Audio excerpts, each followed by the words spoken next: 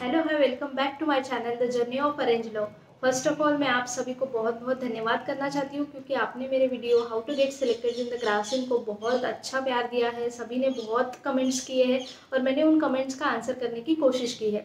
अगर आपको कोई और डाउट्स होंगे तो आप बिल्कुल कमेंट कीजिए और मैं आपको हमेशा आंसर करूँगी।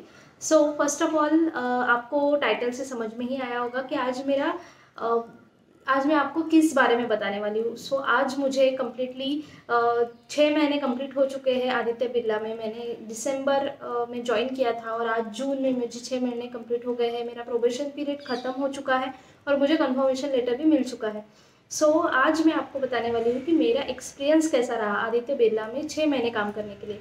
सो so, हम कुछ पॉइंट्स में काम बात करेंगे। जैसे कि फ़र्स्ट पॉइंट रहेगा सेफ्टी सो सेफ्टी ये बहुत बहुत इंपॉर्टेंट पैरामीटर है आदित्य बिरला के लिए। वो अपने एम्प्लॉयज़ की सेफ्टी के लिए पूरे पूरे ध्यान देते हैं। मतलब आ, किसी भी छोटी मोटी चीज़ें में अलगर्जी पना नहीं करते और प्रॉपर सेफ्टी वे से ही सभी प्रोसीजर उनका होते रहता है। So first of all safety के मामले में Aditya Birla is very very good एक एम्प्लॉय की सेफ्टी के साथ साथ ही वो एक कॉन्ट्रैक्टर की सेफ्टी जो थर्ड पार्टी कॉन्ट्रैक्टर्स रहते हैं वर्कर्स रहते हैं टेक्नीशियंस रहते हैं उन सबकी सेफ्टी के लिए भी सोचती है। और उसी हिसाब से वो अपना जो फैक्ट्री है सेफ्टी नॉर्म्स के हिसाब से ही चलाती है। और उसमें कोई भी दूसरा शॉर्टकट अपनाने की वो कोशिश नहीं करती। सो so, सेफ्टी में आदित्य बिरला बहुत बहुत बहुत अच्छी है।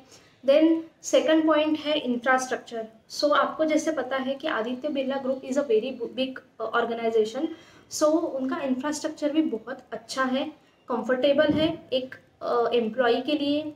उनका बैठना उनका जाना आना कन्वीनियंस फैक्ट्री में सब चीज़ें जो है, वो सब कन्वीनियंस सभी तरीके से वो उन्होंने एक एम्प्लॉय के बारे में सोचा है और उसी तरीके से इंफ्रास्ट्रक्चर भी डेवलप किया है।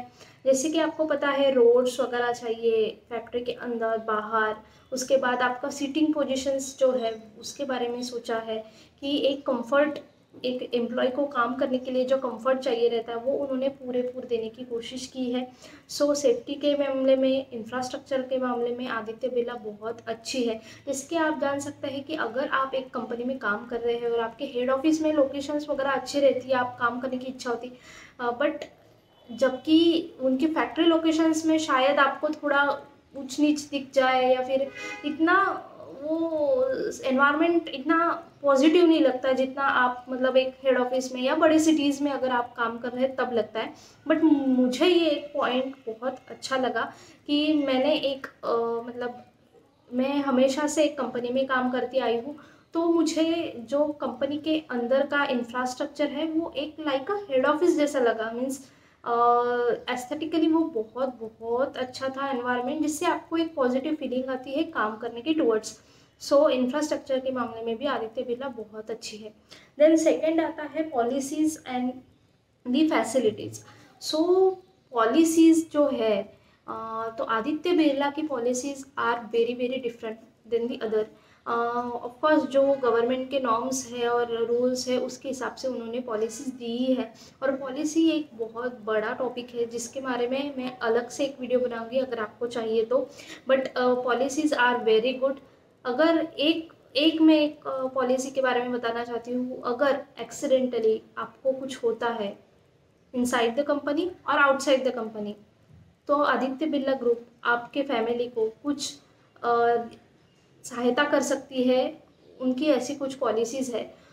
जो कि मुझे एक यूनिक पॉलिसी लगी क्योंकि मोस्ट ऑफ़ द कंपनीज़ में ऐसा रहता है कि अगर आपको एक्सीडेंटल uh, कुछ होता है in the plan then only companies means paying you for the loss but generally यहाँ पे एक ये पॉलिसी भी है कि अगर आपको कंपनी के बाहर भी है आप छुट्टी पे है और ऐसा कुछ होता है तो तो भी आपको एक सपोर्ट दिया जाता है आदित्य बिरला की तरफ़ से।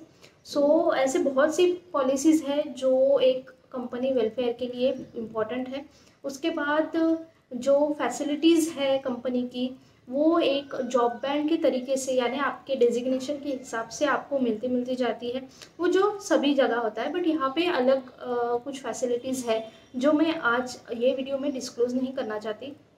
बट आप इतना समझ लीजिए कि वो एक जॉब बैंड के हिसाब से आपकी फैसिलिटीज़ आपको प्रोवाइड की जाती है। बट जो बेसिक फैसिलिटीज़ है वो सभी के लिए सेम है। जैसे कि मैं आपको बताना चाहती हूँ कि बसेस जो एम्प्लॉयज़ का जैसे आप ऐसे फैक्ट्री लोकेशन जो है वो 18 से 19 किलोमीटर है तो उतना डिस्टेंस कवर करने के लिए आ, उन्होंने बसेस प्रोवाइड किए हैं जो कि एक दो ना होते हुए पाँच छः बसेस है ताकि आपको फ्रिक्वेंसी मिलती रहे। और आपको कोई भी प्रॉब्लम ना है सिटिंग के लिए या कोई भी चीज़ के लिए। So buses are very good then canteen facility canteen facility बहुत अच्छी तरीके से दी हुई है। जैसे कि आपको पता है कि नॉर्मल अगर थाली आप लेते हैं तो fifty to sixty rupees per plate in the company आपको मिल जाएगी। बट यहाँ पे बाईस रुपये के आपको बनना है और बाकी जो भी अमाउंट रहेगा वो कंपनी पे करती है। तो एकदम मिनिमम प्राइस में आप वहाँ पे खाना भी खा सकते हैं और वो भी क्वालिटी खाना खा सकते हैं। सो so, वो एक अच्छी फैसिलिटी है। जो आदित्य बिरला ने प्रोवाइड की है। फिर उसके बाद और ये जो चीज़ें हैं वो सभी ब्रांचेस के लिए सेम है। मतलब फाइबर के लिए केमिकल के लिए सभी सभी ब्रांचेस के लिए वो फैसिलिटीज़ जो है वो सेम दी गई है। फिर उसके बाद आ, मैं अपनी बात करूँ कि मेरे लिए इम्पोर्टेंट क्या था? तो मेरे लिए इम्पोर्टेंट ये था कि मेरी प्रोफेशनल ग्रोथ मुझे बहुत इम्पोर्टेंट थी। और प्रोफेशनल ग्रोथ के बारे में अगर मैं बात करती हूँ तो वहाँ पे ऐसा है कि आपको एक प्रोसीजर दिया गया है कि आपको ये स्टेप बाय स्टेप काम करते जाना है। एक रिलीजिंग स्ट्रैटेजी अप्रूवल स्ट्रैटेजीज है अप्रूवल स्टेजेस है वहाँ पे कि इसके अप्रूवल के बाद वो, उसके अप्रूवल के बाद वो, इसके अप्रूवल के बाद वो। तो एक स्टेप बाय स्टेप आपको एक प्रोसीजर दिया गया है और उसी प्रोसीजर में आपको काम करना है। जैसे कि बहुत सी चीज़ों में अभी जैसे मैं परचेस डिपार्टमेंट में हूँ तो मुझे फ़र्स्ट ऑफ़ ऑल उन्होंने बहुत से सेक्टर्स में इन्वॉल्व किया। मैं मीन्स जैसे मैं एडमिन ग्रुप देखती थी सी एस आर भी देखती थी, उसके बाद पाइप फिटिंग्स का भी मैकेनिकल इंस्ट्रूमेंट्स का भी रिक्रूटमेंट देखती थी प्रोक्रूटमेंट देखती थी। तो इन सब चीज़ों में मुझे वर्सटाइल नॉलेज मिला गया, मिलता गया और मैं हर एक चीज़ों में इन्वॉल्व होके वो समझती गई और अडाप्ट करती गई। तो आपको ये एक बेनिफिट बहुत अच्छा मिलेगा कि आपको हर एक चीज़ों में वो इन्वॉल्व करेंगे so you can understand the work better उसके बाद आपकी फाइनेंशियल ग्रोथ वहाँ पे ऑफकोर्स होगी, क्योंकि एक आदित्य बिरला का लोगो ही आपके लिए बहुत ज़्यादा इम्पोर्टेंट हो जाता है। वहाँ पे जो काम करने का तरीका है, जो प्रोसीजर्स है, वो बहुत स्टैंडर्ड है और उस हिसाब से अगर आप कहीं पे भी किसी भी कंपनी में काम करते हो तो आपको ऑफकोर्स कोई इशू नहीं आएगा जैसा मुझे लगता है।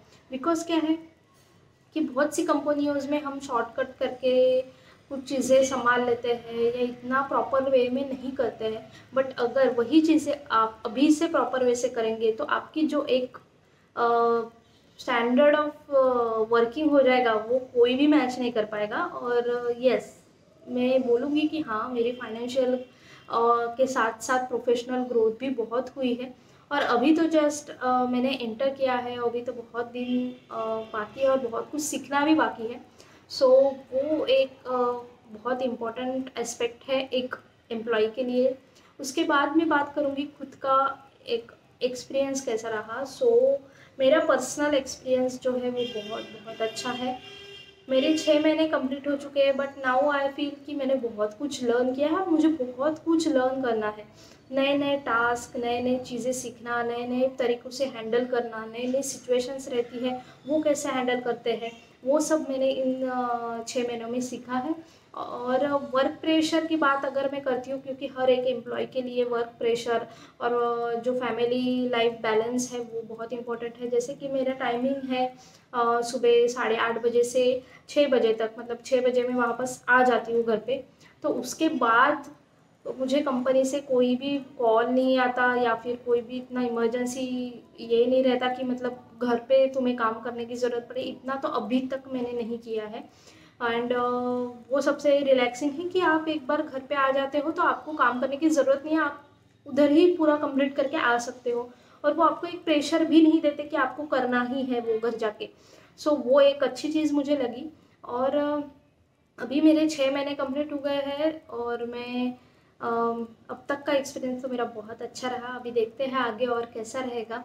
और अगर आपको मेरा वीडियो ऐसा ही पसंद आए तो please like share subscribe my video to get more more more information about the things and आपके लिए मैं एक नया वीडियो ला रही हूँ, जो हमने अभी रिसेंटली वियतनाम विज़िट किया था। तो उसके रिगार्डिंग भी मैं एक ट्रैवल चैनल जो कि ये मेरा एक पर्सनल लाइफस्टाइल चैनल है जिसमें मैं ट्रैवल रिलेटेड और अपने करियर रिलेटेड और अपनी फैमिली रिलेटेड जो भी वीडियोस है वो डालती हूँ।